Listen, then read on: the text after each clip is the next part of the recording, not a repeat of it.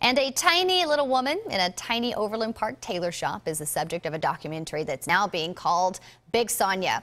And now the filmmakers feel a new sense of urgency to finish their project. Small woman, Big hair. big personality, big hair, Big car. Huge big heart, car. Big spirit.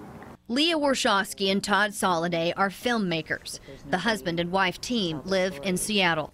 Their most recent project was the documentary Finding Hillywood about Rwanda's growing film industry. But a few weeks ago, they set up shop here at John's Tailor Shop in Metcalf South Shopping Center in Overland Park. The subject of their next documentary, Leah's grandmother, Sonia.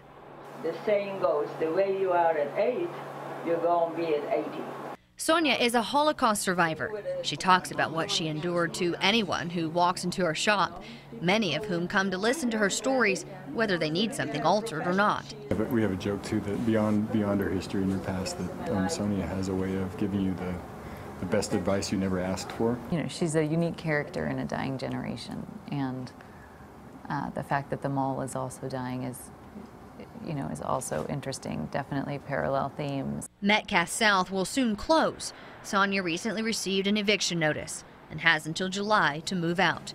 That placed some urgency on getting the film shot and covering production costs.